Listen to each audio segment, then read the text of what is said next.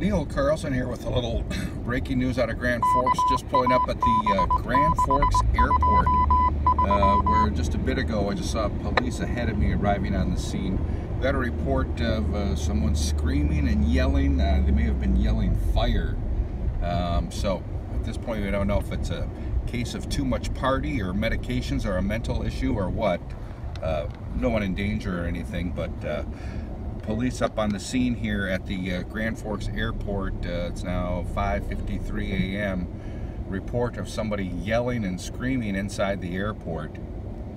Uh, looks like a couple of uh, squad cars at least here now. Uh, we'll hang here. Uh, we'll be back in a moment after we hear hear some more information on what's going on here. Oh wait, there's police coming out now. Know if they're going to arrest somebody. We're going to stay zoom back here. Um, we don't know exactly what's happening yet.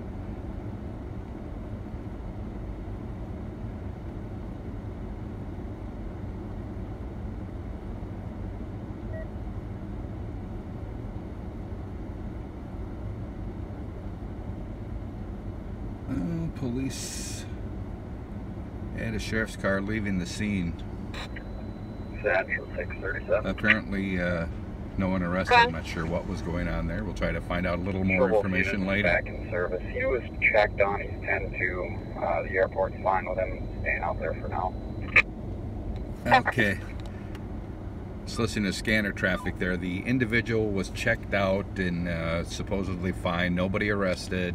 And the uh, individual in question is staying at the airport. Apparently, uh, may have been waiting for a flight here. In Grand Forks, I'm Neil Carlson reporting for iNewZ.TV.